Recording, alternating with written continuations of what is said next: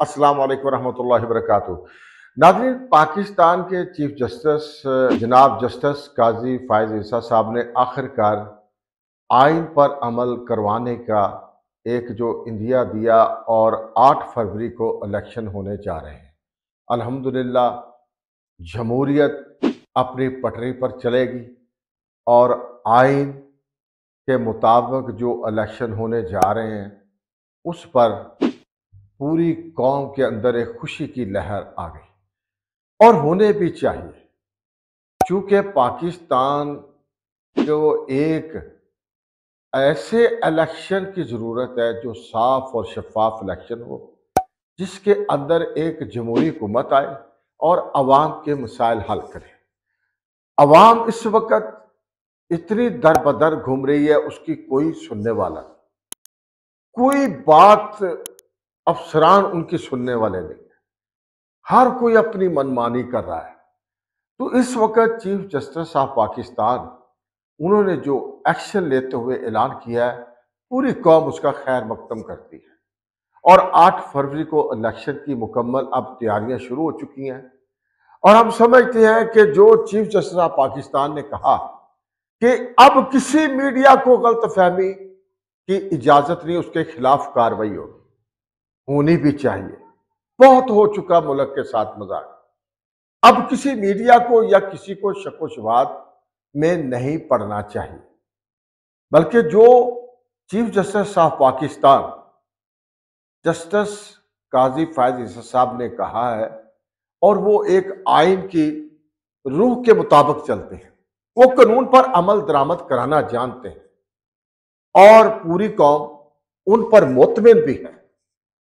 और इन ताला आठ फरवरी को इलेक्शन होंगे और पूरी जमातें और पूरी सियासी जमातें अपने मैदान अमल में हैं। लेकिन नाजरीन, यहाँ पर एक बात करता चला जाओ कि तहरीक इंसाफ का इस इलेक्शन के अंदर फीता कट चुका है।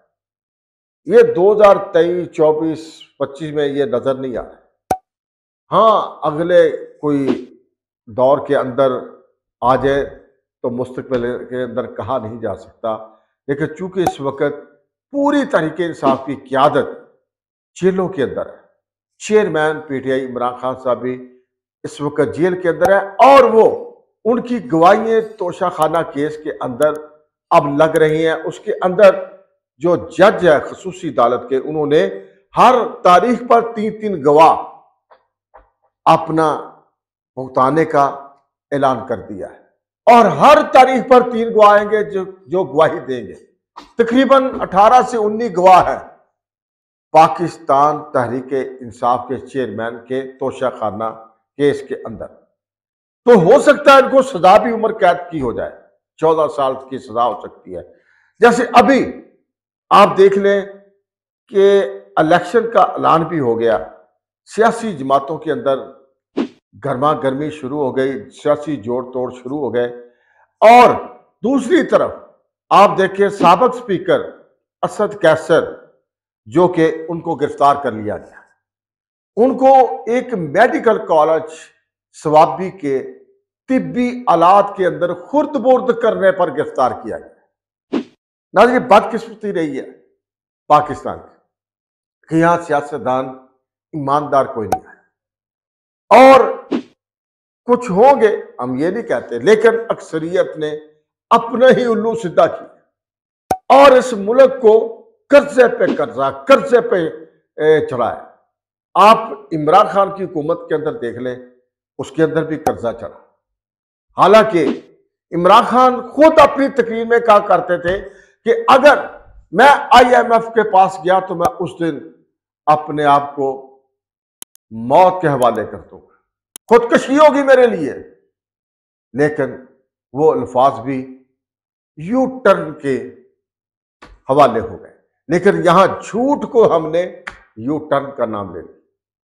बदकिस्मती जिस मुल्क के अंदर झूठ को यू टर्न का नाम दे दिया जाए, सियासी जमातें झूठ बोलकर अवाम को धोखा दे रही हो। झूठ बोलकर अवाम से वोट मांग रही हो। झूठ बोलकर बयानिए देकर बाद में अपनी मनमानियाँ कर रही हो तो उस मुल्क के क्या तरक्की करनी है? हमें ज़रूरत है इस वक्त ऐसे हुक्मरान की, जो सैदना उम्र फारूक रज़ी अल्लाह तु जैसा, जो कौम को भी सीधा कर दे। खुद भी सीधा हो कौम को भी सीधा कर दे। ये तो खैर हमारे अमाल का नतीजा नाजरीन। खुद सरकार दोआलम सल्लल्लाहु अलैहि वसल्लम ने भी फरमाया था कि जैसी कौम होगी, वैसे हुक्मरान होगी। हम भी तो कम झूठ नहीं बोलते। अवाम भी कुछ कम नहीं करती। हर शोबे के अंदर झूठ है, अवाम का उसमें मैं भी मौजूद हूँ। लेकिन हम ढूंढ रहे हैं हुक्मरान इंसाफ वाला हो। हम ढूंढ रहे हैं हुक्मरान झूठ ना बोले। हम ढूंढ रहे हैं, इंसाफ करने वाला। लेकिन खुद जुल्म कर रहे हैं, खुद ज्यादती कर रहे हैं, खुद झूठ बोल रहे हैं, कारोबार झूठ पर चला रहे हैं, दो नंबर चीज़ें बेच रहे हैं। और दुआ क्या कर रहे हैं? कि अल्लाह हुक्मरान हमें नेक दे दे। तो बहरहाल, ये सियासी सूरत मुबारक हो पूरी कौम को कि इलेक्शन आठ फरवरी को हो रहे हैं इन ताला। और सबक स्पीकर असद कैसर साहब करप्शन के अंदर गिरफ़्तार हुए हैं। अब यहाँ पर भी कई तवीले देंगे, जी वो इंतकामी कार्रवाई है, जी वो फलाह है, वो फलाह ये पिशावर की एंटी करप्शन ने पकड़ा है। देखे, तावीले वो दे जो के खुद किसी ने देखा। जब एक एंटी करप्शन के पास ज़ाहिर है कुछ चीज़ आई होगी तो पकड़े जाते हैं। क्या अवाम के लिए कानून है? यहाँ तो साइकिल चोरी, अवाम गरीब कर ले तो उसको नहीं छोड़ा जाता। तो हुक्मरान जो जो भी करप्शन के अंदर मुलवस है, हम तो समझते हैं, आइन और कानून के मुताबिक उनके खिलाफ कार्रवाई होनी चाहिए। और जो बेगुना है, उसको बेगुनाह होना चाहिए। बहरहाल, ये सियासी सूरत हाल है। मुल्क, अलहमदिल्ला, जमहूरियत की पटरी पर चढ़ने वाला है।